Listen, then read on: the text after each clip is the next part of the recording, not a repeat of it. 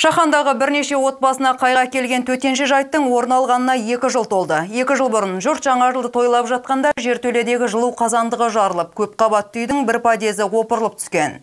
Шахандықтардың жылуға қатысты бүгінгі хал жағдайы қандай? Толығырақ келесі бейне материалда.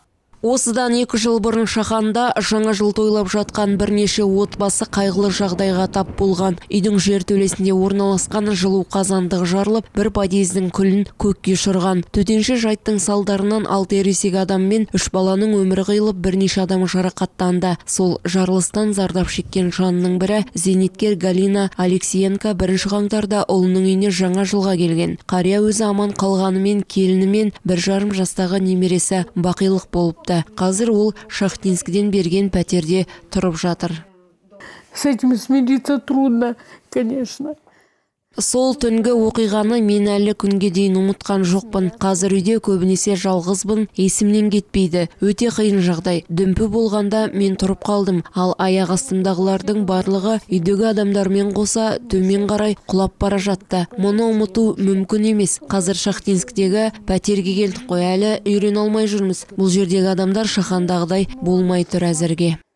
Биліктегілер мұндағы 117 көп қабатты үйдің ішінде жылу қазандығы жертөледе орналасқан 21 үйдің қазандықтарын сыртқа шығарғандарын дәтке қуат етеді. Оларға автоматты жылу жүйесі орнатылған. Бұдан басқа шахандағы үйлердің қырық шақтысы электр жүйесі арқылы жылынса қалғандары өз беттерінше пәтерлеріне пеш қойып алған. Бұл үйлерде тұрғындар бос қалған пәтерлерді көмір қораға айналдырған. Осылайша жұрт жоғарғы қабаттарға отын көмірін тасып қыс бойы бой жылтып шығады. Қыстай осындай пештердің салдарынан түтінге уланып зардап шеккендердің қатары артумен қоса өрттің де орын алуы жиілейтінін айтады. Ну только если что вот э, видите плита газовая. Газ плитасы бар мына жерде мына қабырғаға газ баллоны қойылған. Оған жақын жерде пеш тұр. Әрине осы жағы ептеп қорқынышты әйтпесе бұған итіміз үйреніп кеткен тәрізді. Мен екінші қабатта тұрамын ал тіпті бесінші қабатта тұратын зейнеткерлер бар. Олар отын мен көмірді жоғарғы әзер дегенде көтеріп жүреді. Бізде подъезді түтін үй ішін түтін басып кететін жайттар жиі болып тұрады.